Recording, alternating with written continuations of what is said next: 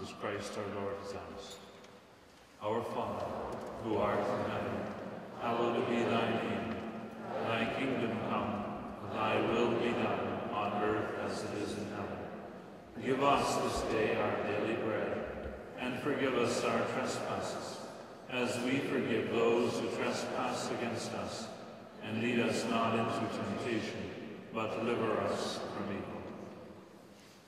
O God, who have commanded us to listen to your beloved Son, be pleased, we pray, to nourish us inwardly by your word, that with spiritual sight made pure, we may rejoice to behold your glory.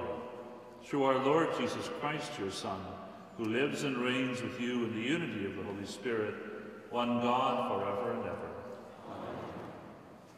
The Lord be with you. May Almighty God bless you and remain with you always, the Father, the Son, and the Holy Spirit. Let us bless the Lord and speak.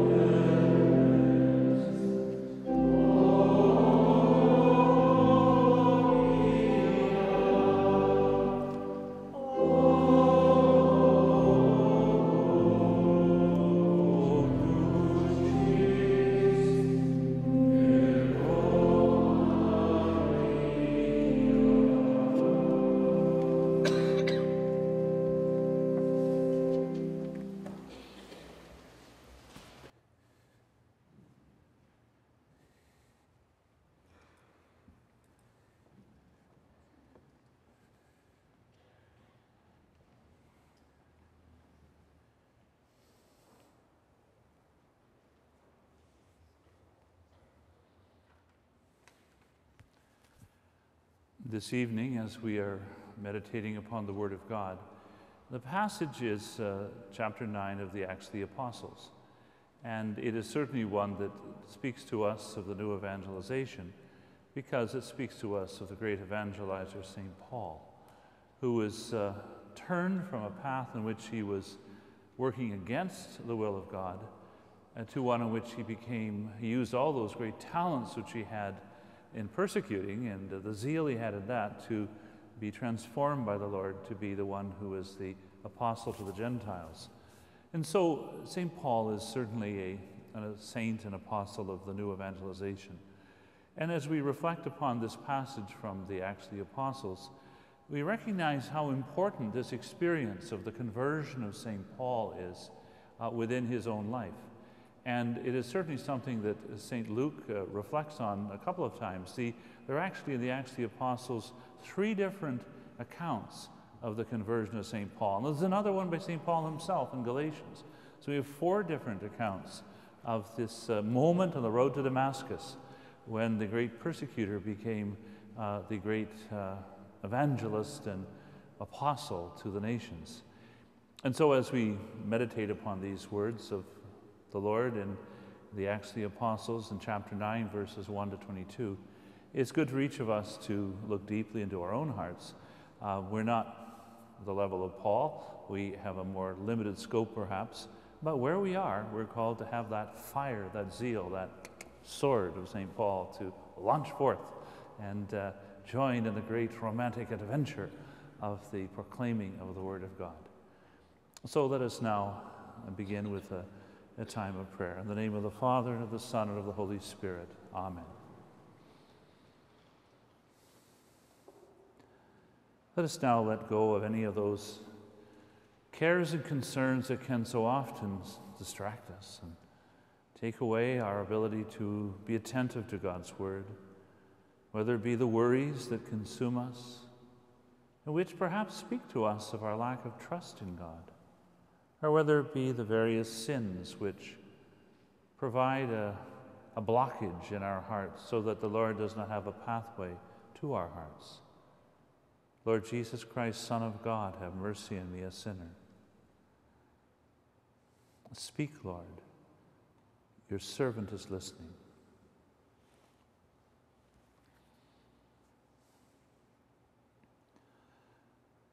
But Saul, still breathing threats and murder against the disciples of the Lord, went to the high priest and asked him for letters to the synagogues of Damascus, so that, if he found any belonging to the way, men or women, he might bring them bound to Jerusalem. Now, as he journeyed, he approached Damascus, and suddenly a light from heaven flashed around him, and he fell to the ground and heard a voice saying to him, Saul, Saul, why do you persecute me? And he said, Who are you, Lord? And he said, I am Jesus, whom you are persecuting. But rise and enter the city, and you will be told what you are to do. The men who were traveling with him stood speechless, hearing the voice, but seeing no one. Saul arose from the ground, and when his eyes were opened, he could see nothing. So they led him by the hand and brought him into Damascus. And for three days he was without sight, and neither ate nor drank. Now there was a disciple at Damascus named Ananias. The Lord said to him in a vision, Ananias. And he said, Here I am, Lord.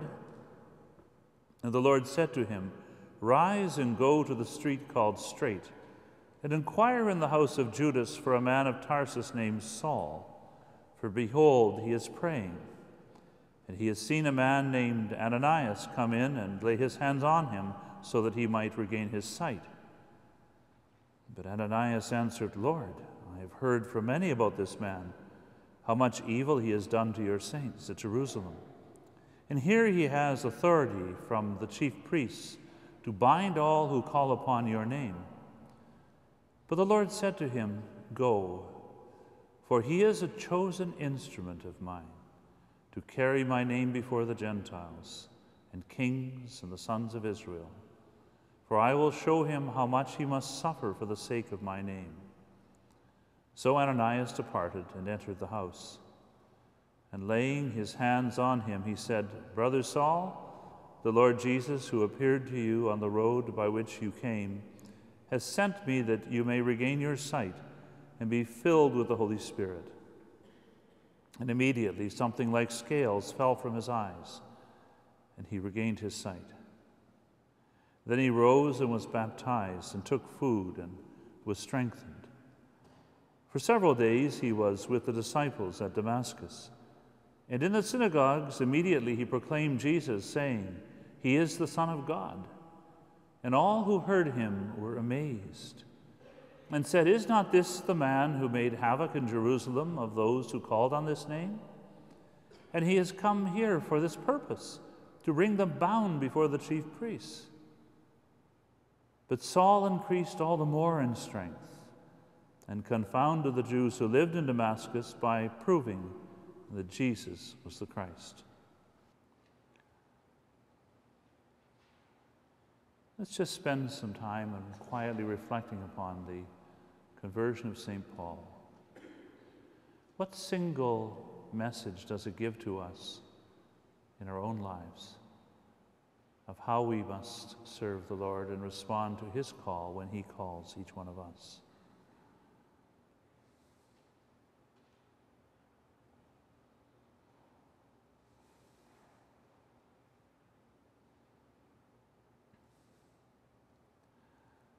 But Saul, still breathing threats and murder against the disciples of the Lord, went to the high priest and asked him for letters to the synagogues of Damascus, so that if he found any belonging to the way, men or women, he might bring them bound to Jerusalem. Saul is breathing threats and murder against the disciples of the Lord. Murder. And yet he is the one who is given the great mission of being a chosen instrument of God. Each one of us, in our own way, is very frail and inadequate. And yet we have probably not turned away from the Lord as much as Saul. And yet, this is the one the Lord chooses. He is the one to be an instrument of God's grace, because none of us initiates any work of evangelization it is the Lord who chooses those whom he may use in the great mission. And he saw in Saul the potential for being one who used the zeal and energy that had been turned against the disciples to be used for the glory of God.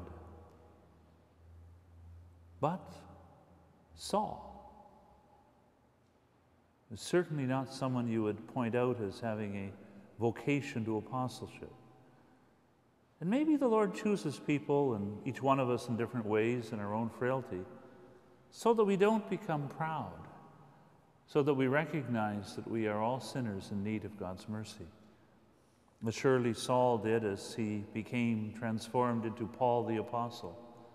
He constantly was aware, even in his moments of great success, that he was the greatest of sinners. And that's the starting point. And on this Lenten day, we should be attentive to that as well. Saul, still breathing threats and murder against the disciples of the Lord. He went to the high priest and asked him for letters to the synagogues at Damascus. He's a very well organized persecutor thinking ahead, planning. If he can get some letters to go there, he can expand the persecution. Very good to have someone who's thinking ahead. This is a talent, an organizational ability. And that's just what the Lord used to spread the gospel to the farthest ends of the earth. In Saul the persecutor, it increased the effectiveness of persecution. And Paul the Apostle, that same human talent for initiative and organization, knowing how to plan an operation, that is used to bring the light of Christ to those who did not have it. It can go either way. You think of two great orators with a great ability to speak Churchill and Hitler, both with great talent, used differently. It is the way in which it is directed by God's grace that the talent is either fruitful or destructive. As it is, it is simply there. And so we look to that and we look to the different things we have in our own lives, our own abilities, whatever they may be, and we can use them for good or ill.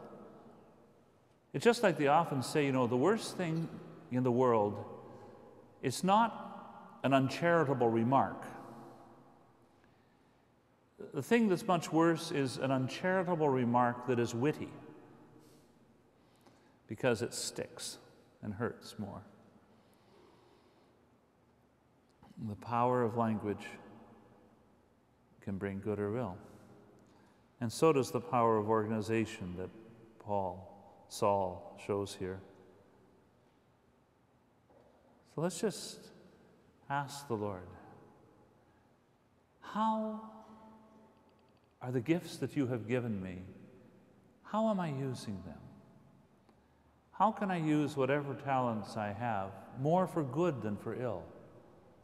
And how have I used sometimes great talents I have to do not good, but wrong, the way Saul did before his conversion? And if so, let us ask God's mercy for that.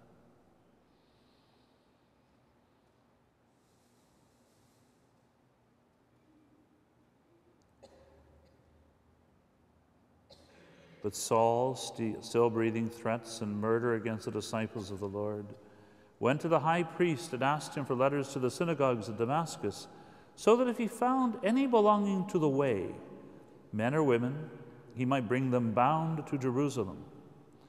Here we have one of the earliest uh, names for our faith the way. The way, the journey, the path. Jesus himself said, I am the way, the truth, and the life. He is the way to the Heavenly Father. He is the path. He is the guide along that path. But the disciples of the Lord, among themselves, spoke of their life as the way, the way that leads to life and light, not to death, darkness. Although we have that choice in that famous opening line of the teaching of the 12 apostles, there are two ways the way to life and the way to death, and there is a great difference between them. And so these are people who followed the way. They had direction in their lives. And that's true of us to this day. You know, we are Christians. We, we have many questions because the mysteries of God are infinite, and we have many questions too, even in this life, because all of the cares and troubles we face are very often complicated and hard. But we know the way who is Jesus. We have questions, but we also have answers. We're not just blundering around in the fog. And it's important for us, especially during this Lenten season, to become more still within our own hearts, to let the distractions and all that shrubbery of our own ego be cleared away, so that we can be more attentive to the way and to the one who is the way, the truth, and the life, and not be caught up in all those little pathways that lead us nowhere. Or we can become like Dante at the very beginning of the greatest of all poems, halfway through the journey of our life. I found myself lost, for I had lost the way.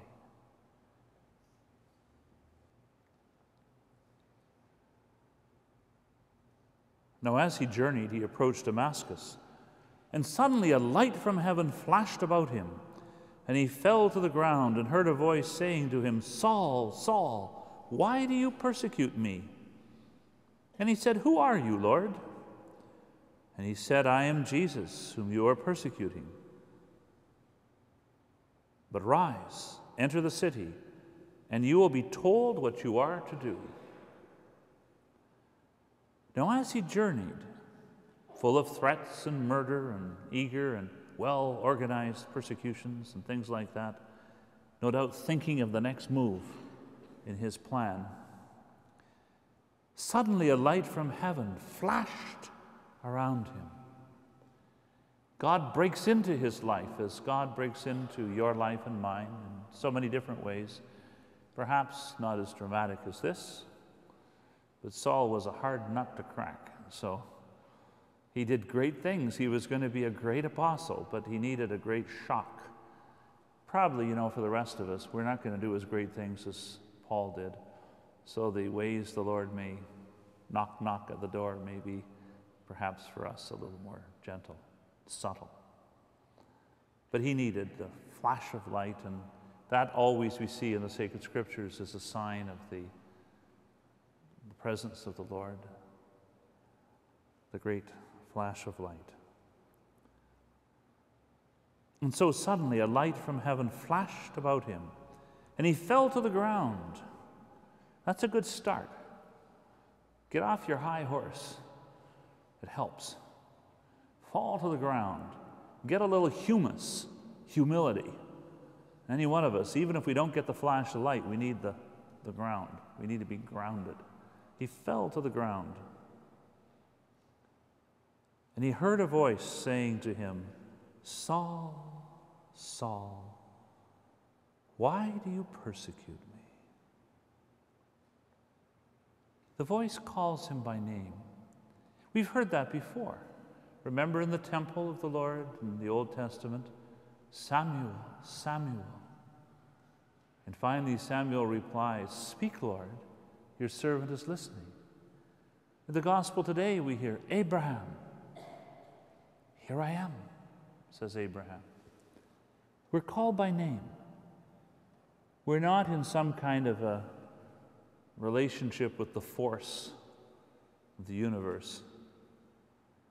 It is the Lord of might and power who knows each one of us by name. And we should try that too. Not that we necessarily can remember people's names, that's a difficult thing. But that we should know people by name as much as possible in the sense of treating them as a person. So here are the great persecutors coming along, and after the Lord blows him off his horse, he gets him down on the ground where he's a little bit grounded there. He then says, Saul. He knows him, he's watched him, he's followed him, he's followed his persecuting career. He says, Saul, Saul. He doesn't say, You're going to go to hell. I mean, that would be a logical thing for God to say. Maybe a little briskness there. No, he says, Saul, Saul, why are you persecuting me? He just opens up the question. And maybe that's a lesson for us to follow the example of the Lord in dealing with the hard hearted Saul, to, in our effort to be faithful disciples and apostles, to lead more with questions rather than with threats or imperatives. Say, Saul, Saul, why do you persecute me? We all need to work that way to question, to reflect, to try to understand more. And when we see someone who is apparently doing something horrible, we don't know why, because we can't read their hearts and we shouldn't try. Maybe it's good to start with, Why are you doing that? And you notice what he says? He doesn't say, Why are you persecuting the church? He says, Why are you persecuting me? It's one of the great statements of all history about the meaning of who we are. We are one body, one body in Christ, and we do not stand alone. It is the mystical body of Christ. It is, as Jesus says, me. We are the me he's talking about. We're all joined to the Lord Jesus. And so when Saul was persecuting the Christians, those following the way, he was persecuting Jesus.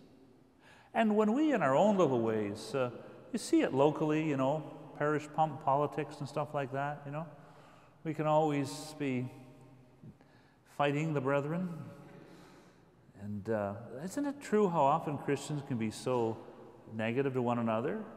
And the Lord can say to us, as he said to Saul, parishioner, parishioner, or priest, priest, or heaven knows even wherever, whatever level of the church. If you're lobbing grenades at one another in various ways, why are you persecuting me? Every time we stick it to somebody, we're persecuting our Lord Jesus Christ. Remember, he says, Whatever you do to the least of my brothers and sisters, you do to me. And here he says it a somewhat different way. Let's think about that for a moment and ask the Lord's forgiveness when, on, in other ways, we have persecuted Christ by our lack of charity to other people.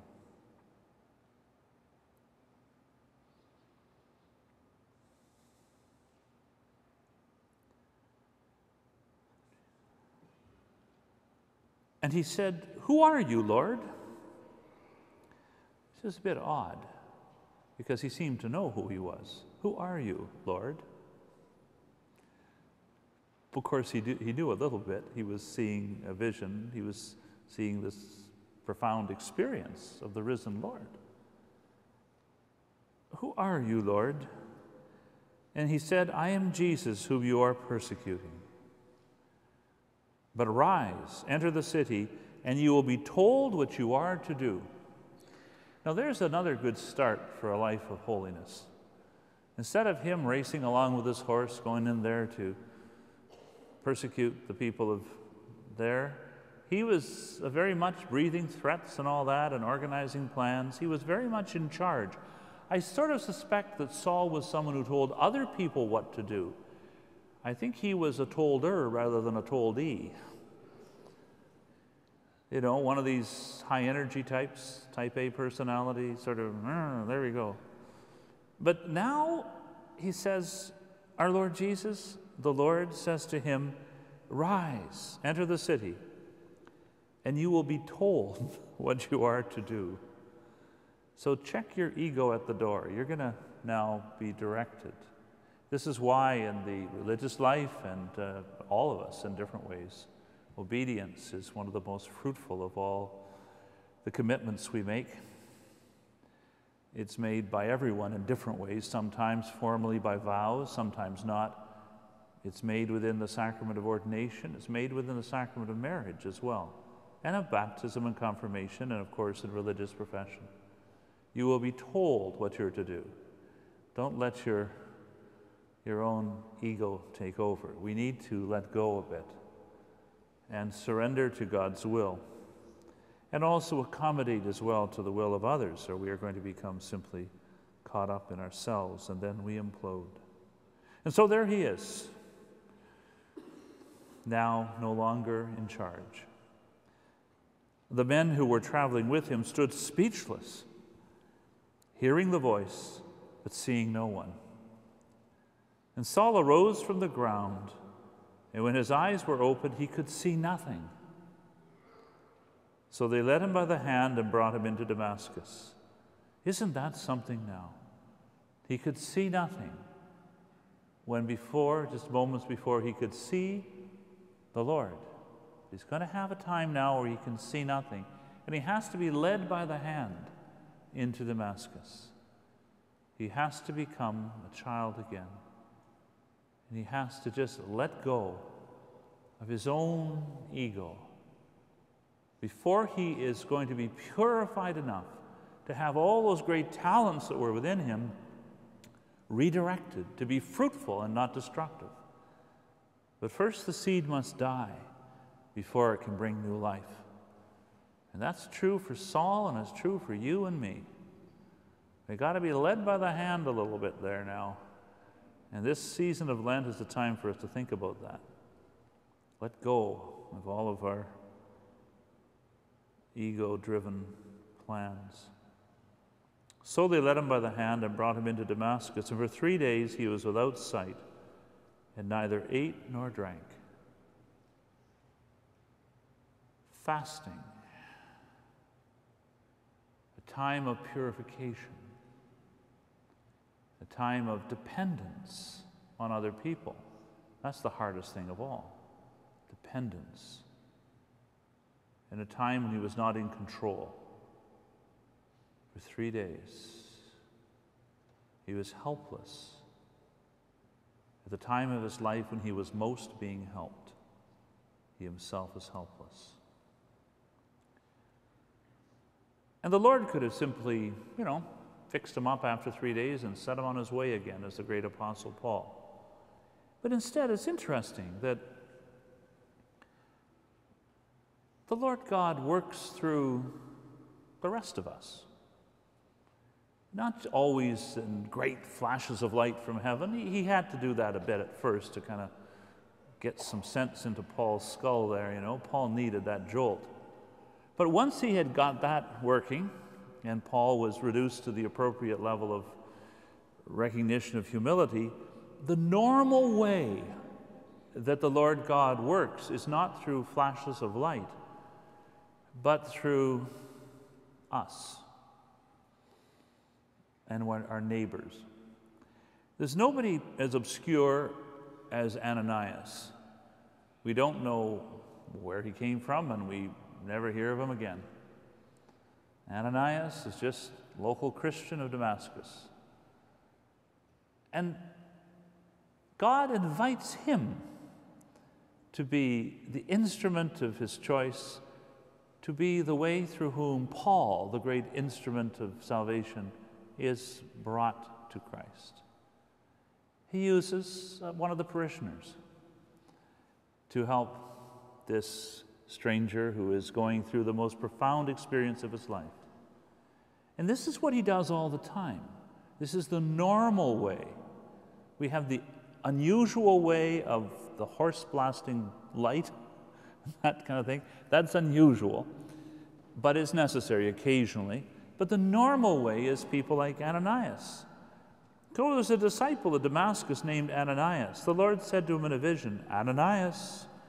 And he said, Here I am, Lord. Now, there, isn't that beautiful? Again, the Lord calls him by name. And he knows about even Ananias. We can assume he knows about Saul. He's such a spectacular character, going to be Paul the Apostle.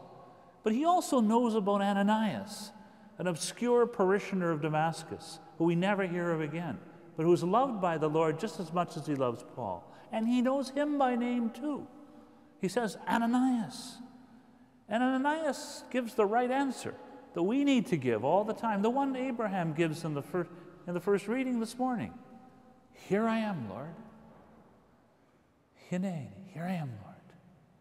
It's the answer our Blessed Mother gives too. Behold the handmaid of the Lord. It's what Samuel gives. Speak, Lord, your servant is listening. Here I am, Lord. We can live our life on those words. Here I am, Lord. And the Lord said to him, Rise and go to the street called Straight, and inquire in the house of Judas for a man of Tarsus named Saul, for behold, he is praying. And he has seen a man named Ananias come in and lay his hands on him so that he might regain his sight. Ananias needs detailed instructions, as do we all. So he's going to get him set. You know, Ananias is not a you know, heavy duty apostle. He's just working along there. He's, he's a saint. He says, Here I am, Lord. And the Lord gives him the directions of how to fulfill this incredibly important task in the whole history of salvation to be the one through whom the great apostle Paul is purified and brought back. And that's that beautiful role that Ananias has. And, and the Lord helps him, He gives him directions. I think we sometimes forget about that, that. Uh, you know, we're thinking of all the troubles we face and all that, and oh my, it's so easy to think, what am I going to do? Oh dear. And how will I find the way? But the Lord will give us directions as He gave Ananias, even telling him what street to go down to find. It's so easy to forget that. I don't know about you, but I often find it very hard. You know, you you can so often get not trusting enough in the hand of God and too worried that our own efforts are going to mess everything up. And we get, they may for that matter, because we're all kind of frail. But we got to have the spirit of Ananias. Say, Here I am, Lord, then take instructions. And then humbly follow that. And Ananias is also um, not just putty in the hands of the Lord in the sense that God uses disciples to do his will, but he expects them to be thinking disciples, like Paul, for that matter. So, just as he chose a very talented persecutor to be one of his great apostles, he chose Ananias, who isn't just blindly obedient, because Ananias says, having received this vision of God and this call to do this extraordinary thing. Ananias says, Lord, I've heard from many about this man, how much evil he has done to your saints in Jerusalem. And here he has authority from the chief priest to bind all who call upon your name. And so Ananias has the temerity to say to the Lord, You gotta be kidding. You really want me to go to this? You know, he's filling the Lord in on some of the details of the problem. It's just kind of nice. But the Lord said to him, Go, go, go, go. For he is this wonderful thing, this chosen instrument. He's a chosen instrument of mine to carry my name before the Gentiles, and the kings and the sons of Israel. For I will show him how much he must suffer for the sake of my name. Isn't that interesting? As he's sort of chatting with Ananias, getting him ready for the big mission in his life, he says, You know, you're right, you know, he is the persecutor, but he's a chosen instrument. And that's why I want you to help him out. But then he says something very special he says that Saul will become this great apostle to the Gentiles, the chosen instrument. And the thing that defines Paul's future mission is not that he's going to convert the world, but it's, I will show him how much he must suffer for the sake of my name. It's like the sword that will pierce the heart of the Blessed Virgin. It is the reality of the cross. And the first sign that the Lord mentions in talking with Ananias about Paul is the suffering he'll go through. You're going to be going to a man who's going to be suffering a lot, more than just this blindness that he's been given to help purify him. We should think about that. What our witness involves As Thomas More said, you don't get to heaven on feather beds. And sometimes, you know, we can kind of think that we do, but none of us. We all are called to share in some way in the cross of Christ. And uh, it may not be obvious and it may take different forms. But it's in that that our vanity is purified and evaporated, and our own egos are made humble and made fruitful for the Lord. So Ananias departed and entered the house, and laying his hands on him, he said, Brother Saul, the Lord Jesus has appeared to you on the road by which you came. He has sent me that you may regain your sight and be filled with the Holy Spirit.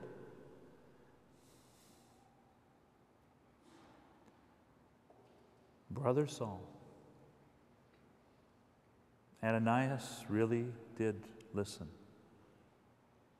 He's way ahead of Paul and Saul on that at this moment. Brother Saul. Let's just spend a moment asking the Lord to help us to see those perhaps that we are wary of in our lives. Or maybe we mock a little bit, or maybe we're quite harsh in the way we speak about them, whether they be near or far. People we're suspicious of as Ananias was suspicious of Saul. And can we say brother, sister to that person? The way Saint Ananias said to Saul the persecutor? Or are we likely just to be curt and sharp in the way we treat people we don't trust or we are suspicious of or we feel that we have been hurt by?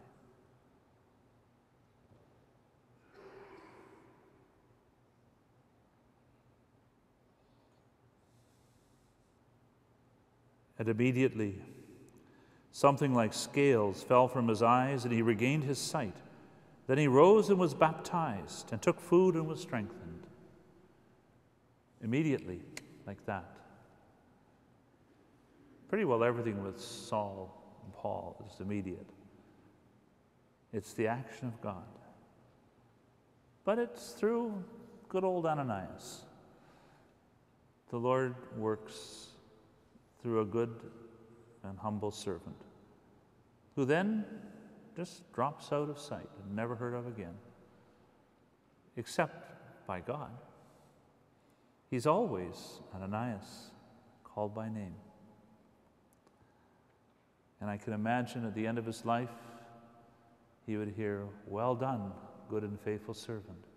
Enter into the joy of your master, Ananias.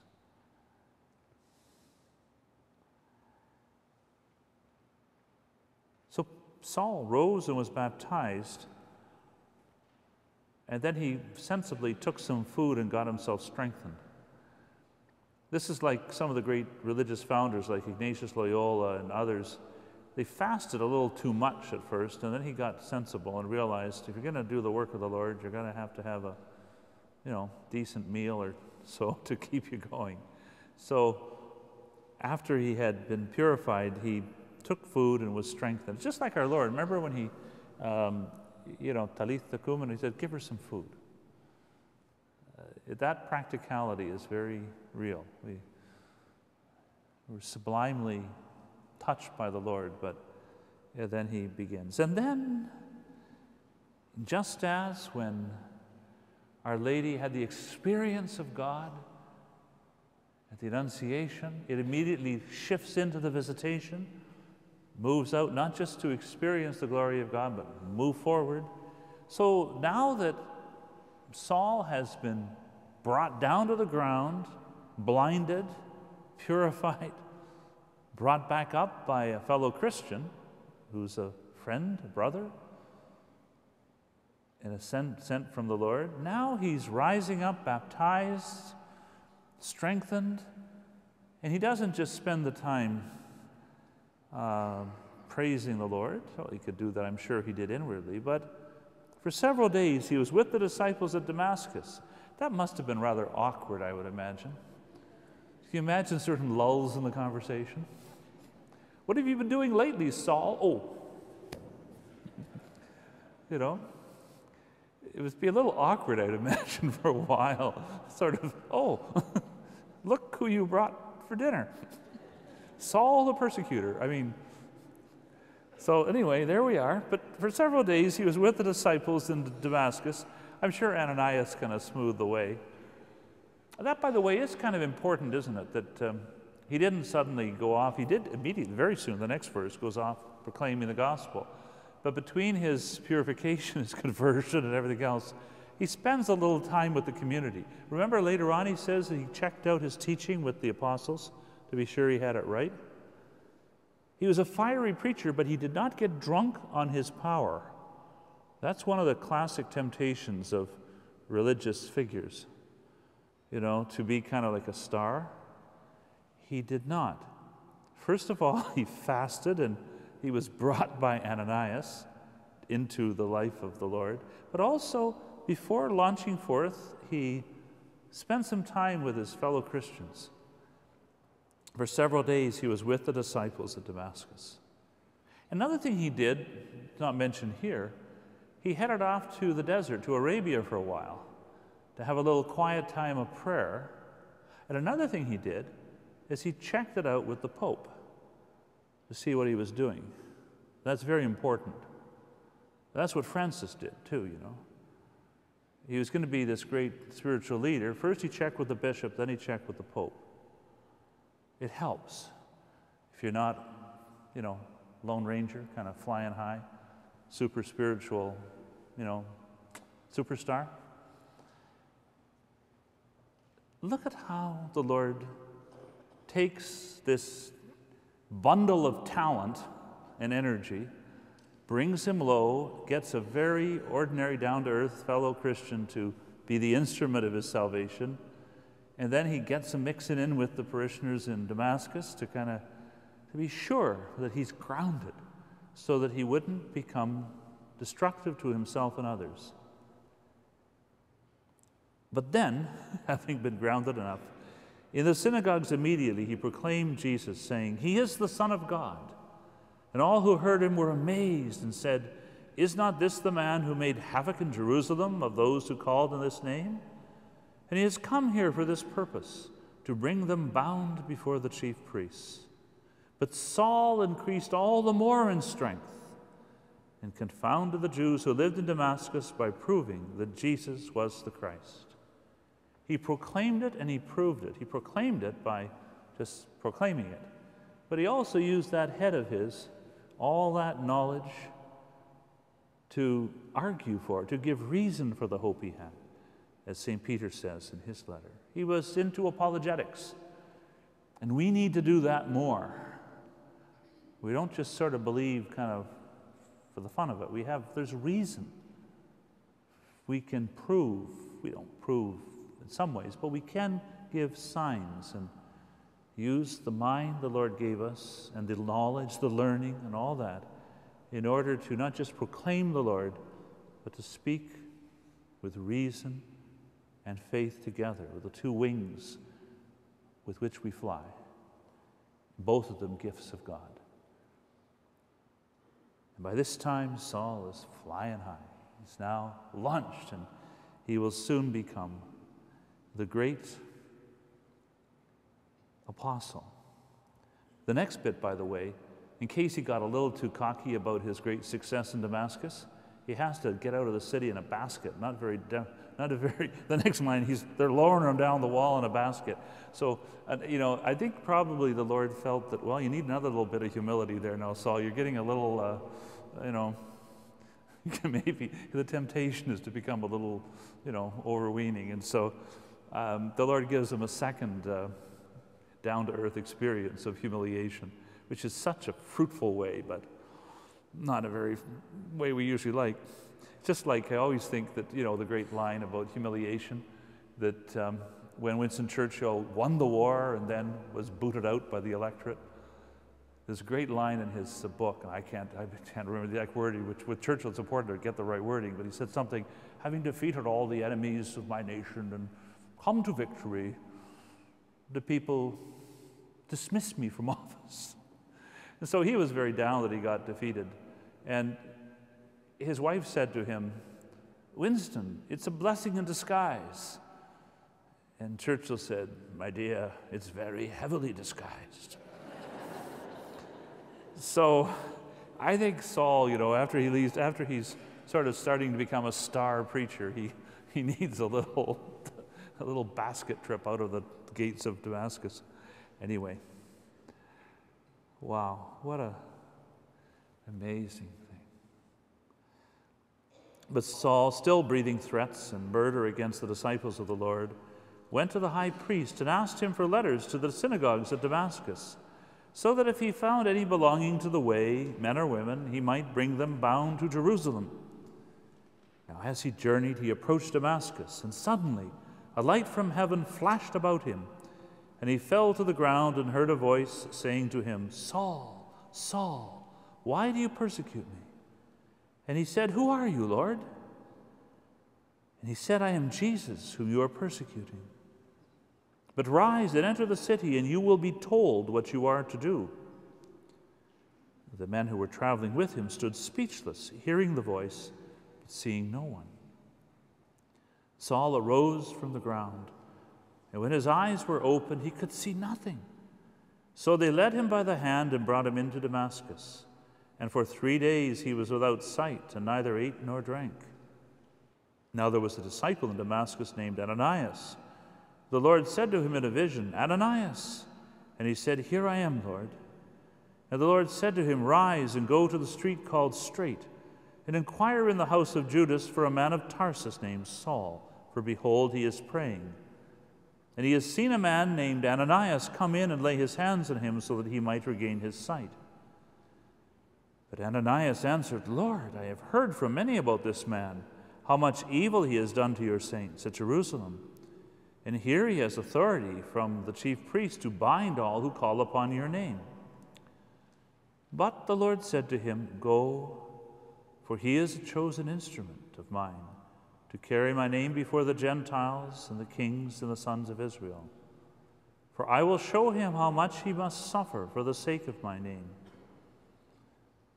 So Ananias departed and entered the house, and laying his hands on him, he said, Brother Saul, the Lord Jesus, who appeared to you on the road by which you came, has sent me that you may regain your sight and be filled with the Holy Spirit. And immediately, Something like scales fell from his eyes, and he regained his sight. Then he rose and was baptized, and took food and was strengthened. For several days he was with the disciples at Damascus. And in the synagogues, immediately he proclaimed Jesus, saying, He is the Son of God. And all who heard him were amazed and said, Is not this the man who made havoc in Jerusalem of those who called on this name? And he has come here for this purpose, to bring them bound before the chief priests. But Saul increased all the more in strength. and confounded the Jews who lived in Damascus by proving that Jesus was the Christ.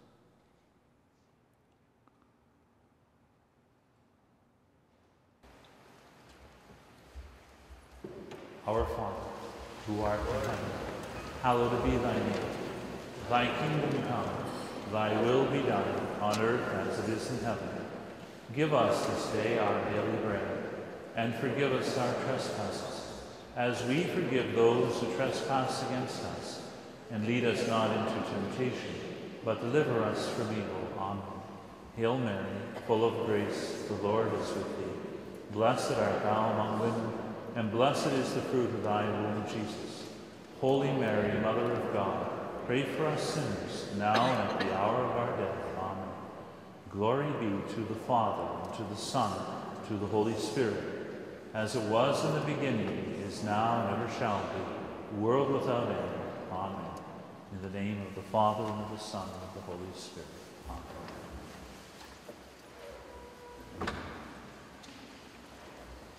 Amen.